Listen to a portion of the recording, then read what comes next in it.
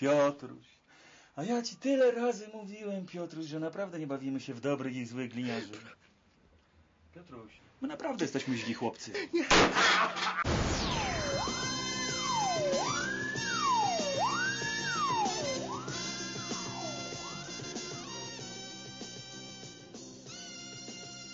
Witamy Państwa i z przyjemnością informujemy, że dziś spotkamy się dwukrotnie. Teraz i po wieczornej panoramie. A w naszym programie przedstawimy jedno z najpotworniejszych zabójstw ostatnich lat. Ofiarami stali się dziewczyna i chłopak z ziemi lubuskiej. W tej sprawie listem gończym poszukiwany jest 50-letni Andrzej Sikorski z Nowej Soli. Szczegóły już za chwilę, a teraz tradycyjnie latem rozpoczynamy program od wakacyjnych przestróg i ostrzeżeń. Ale pięknie! Ale wola piękna będę pływał! Wyguś, wyguś! Matko! Boska!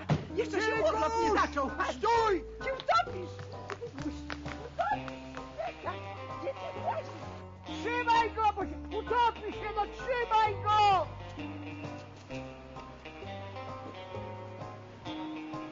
Dlaczego jesteś taki niegrzeczny? Prosiłam, bądź posłuszny. Zaraz wracamy do dziadka. Chodź, już, nie śmiej się tutaj. Rany boskie! Auto mi rąbnęli! Jezus Maria, pewno zostawiłeś kluczyki w statyjce. Ty stary sklerotyk, o czym ty myślisz? No cholera zwiał, no trzeba dzwonić po policję. Ma, ma, masz ko, komórkę, bo... Nie, no ty masz przecież, nic nie wiem, gdzie to masz. No, No przecież, to jest... przecież to nasze auto! Boska. Dziadek, dziadek, na urlopie szare komórki też muszą pracować. Szare komórki? Ja ci dam szare komórki, uduszę go! Oj, bo, moje serce. Uspokój się, uspokój się. No, chwila nieuwagi, cały urlop można mieć zmarnowany. Bądźcie Państwo rozważni i rozsądni. I kochajcie swoje wnuczki I wnuków. i swoich wnuków. Przezorności i rozwagi y, nigdy nie za wiele. Dobry wieczór, witam Państwa. Dziś y, wyjątkowe wydanie magazynu y, 997, bo spotkamy się z Państwem dwukrotnie, teraz i po wieczornej panoramie. Wspólnie z policją apelować będziemy o pomoc w zatrzymaniu jednego z najgroźniejszych bandytów w Polsce, 50-letniego Andrzeja Sikorskiego z Nowej Soli, podejrzanego o podwójne zabójstwo.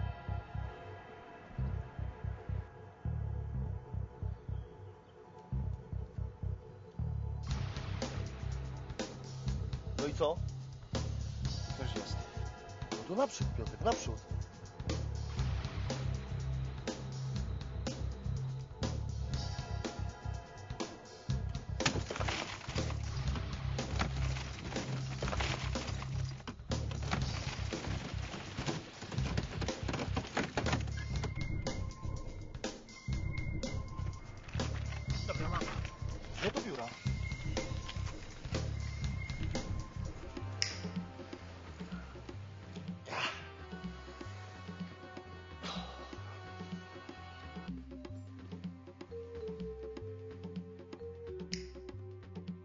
Panowie, długo jeszcze? Zara, chwila.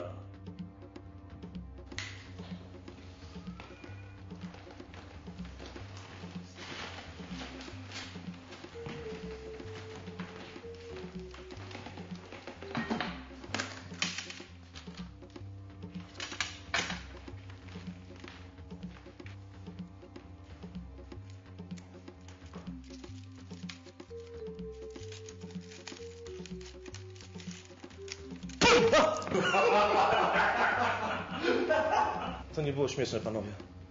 Może przejdźmy do interesów. Wyluzuj, chłopie, wyluzuj. Tym towarem możesz wysadzić w powietrze pół stolicy.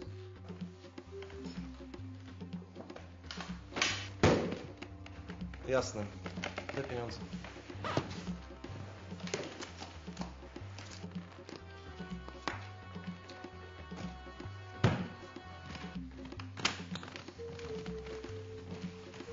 Nie przeliczysz? A ty nie sprawdzisz.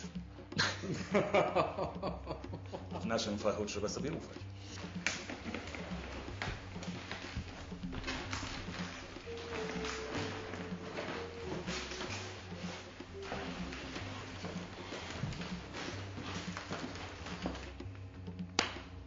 Jędrek, ale super deal. No, słuchaj, za takie pieniądze tyle senteksu. Zobaczysz, że przyjdą do nas jeszcze z powrotem. Słuchaj. Dostałem cynk od celników. Są dwa tiry z fajkami. Słuchaj, za każdego tira możemy dostać 20 baniek. Daj spokój, Jędrek, chyba nie myślisz o mnie, co? Przecież ja nawet prawa jazdy nie mam. Daj spokój. Szefie, ja mogę tego tira poprowadzić. Ty to możesz walizki nosić. Słuchaj, potrzebny jest nam taki młody wilk. Wiesz, odważny, popatrzę, co się nie boi niczego. No wiesz, nikt go nie zna. Żeby był zaprawiony, żeby to był ktoś z naszych, żeby go nie trzeba było uczyć, nie? Jędruś, weźmiesz ode mnie radyjko, nowiuszkie mam, no. Jędruś, no dupę chciałem na dyskotekę zawdać. Hmm? No, Jędruś. Daj te radyjko. Zobacz.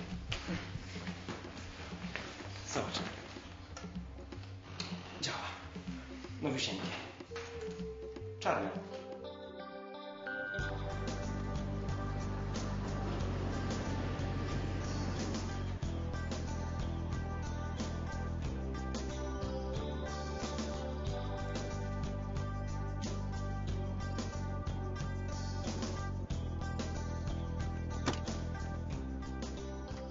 Cześć, jestem Angela. Juras jestem. Ale mam tylko pięć dych. Kochany, za pięć dych to ty u Angeli jeszcze będziesz miał.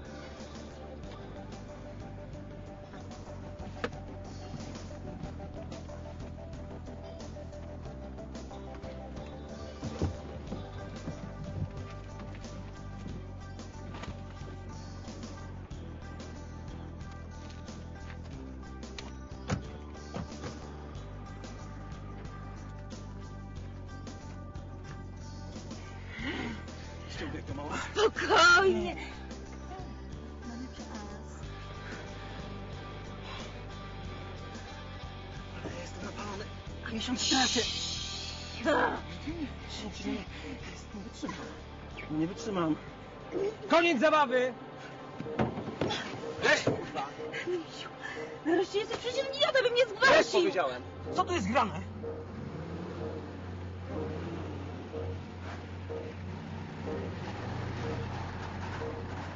Panowie, nie zostawiajcie mnie, panowie! Nie chciałem, panowie! Nie zostawiajcie mnie!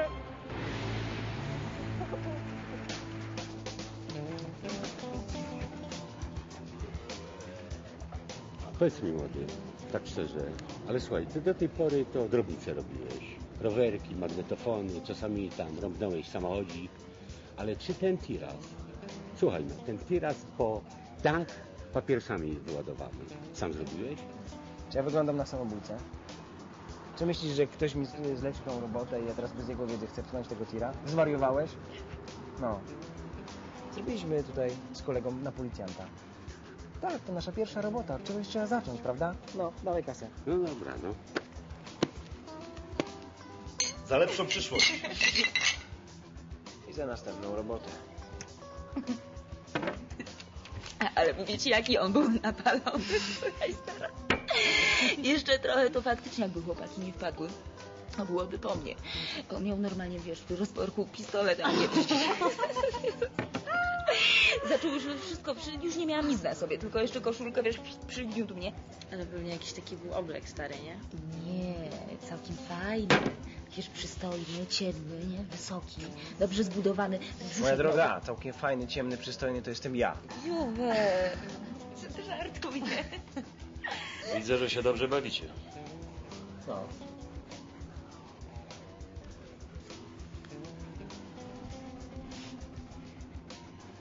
Jędruś, ale o co chodzi? Piotruś, chodź porozmawiamy.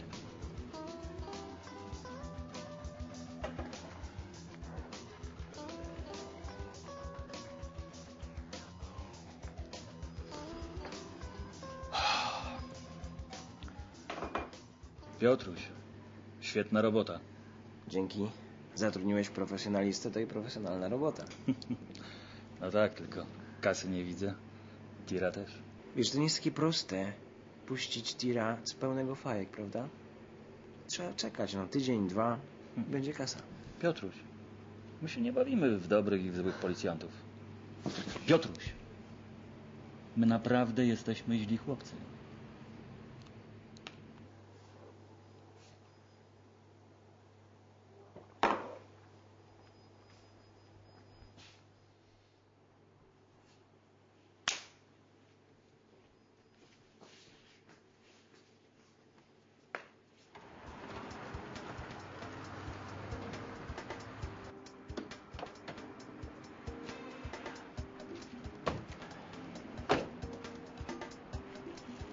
Jest dziadek? A kto pyta? Jest dziadek?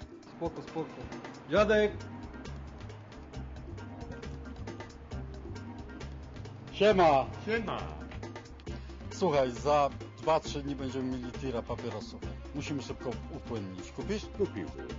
Ale niedawno wziąłem całego tira z papierosami. Od młodego. Piotka. Ten, co tymi radyjkami handlował? Dokładnie. A co, on sam wszedł wam drogę? Coś jest nie tak?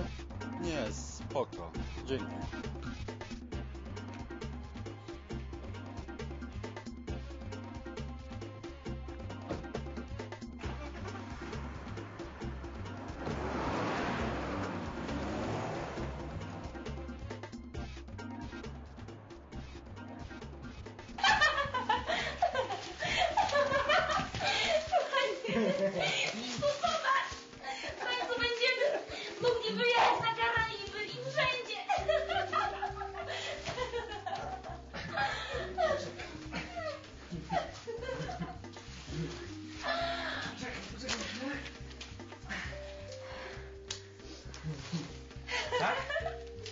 Jak ta moja forsa?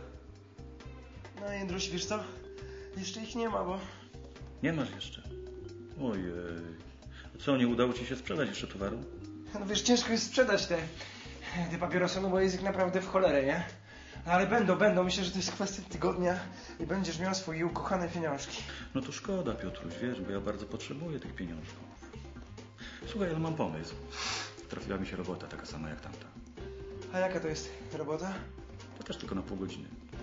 Wiesz, ty zrobisz to samo, a zapomnimy o, o tamtym. Dobra, wchodzę. To słuchaj, jeżeli tak, no to za pół godziny w tym samym miejscu, co wtedy? Dobra, będę. Cześć. Robota jest? Gdzie? Jaka? Nie wiem. Podobno to co zawsze. Idziesz ze mną? No pewnie! Zbieraj chłopaków na piknik. Wszystkich? Wszystkich.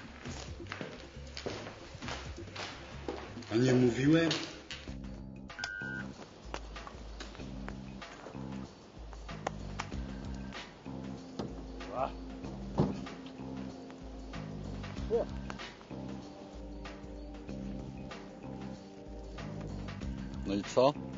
Nasyp po całości.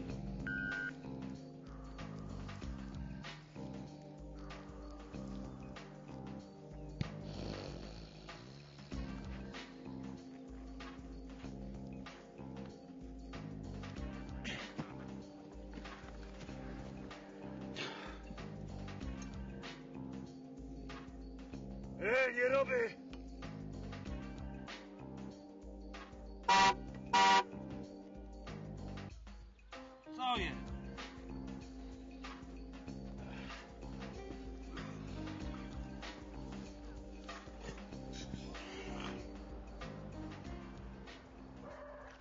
To mówi pani, że mieszkaliście razem, tak? Tak, ja zajmowałam jeden pokój, mój brat z dziewczyną drugi. Wie pani, no jest ciepło, są wakacje. Nie wiem, może wyjechali gdzieś razem odpocząć. Ale proszę pana, ja pożyczyłam bratu samochód na dwie godziny. Nie ma go już kilka dni. Dzwonię na komórkę, nie odpowiada. Więc co mi pan tutaj za głupoty opowiada, że pojechali gdzieś? Ale niech się pani uspokoi. Im więcej informacji zbierzemy na temat pani brata, tym szybciej go znajdziemy. Przepraszam. No dobrze, to może sprawdzimy najpierw szpitale, co? Ale ja już sprawdzałam wszystkie szpitale. Sprawdzałam szpitale, przytułki, wszystko. Nigdzie nie ma mojego brata. Czy zauważyła Pani ostatnio coś podejrzanego w zachowaniu brata? Nie, wszystko było normalnie. Tak jak zawsze. Zachowywał się normalnie. Ja czuję, że stało się coś złego. Przyjmujemy Pani zgłoszenie. Gdyby się brat odezwał, proszę natychmiast nas o tym poinformować. Dobrze, oczywiście.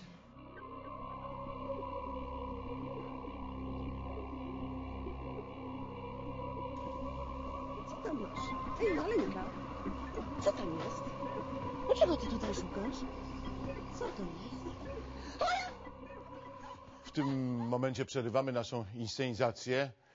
Co wydarzyło się e, w okolicach Nowej Soli, co stało się z Piotrem i jego dziewczyną, dowiedzą się Państwo w drugiej części naszego programu około 22.40 po panoramie oczywiście w dwójce. Czekam na Państwa.